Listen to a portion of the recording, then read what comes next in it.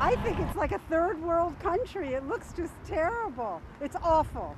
It's un-American. It's unbelievable that the most important city in the United States uh, has to resort to this type of protection, you know?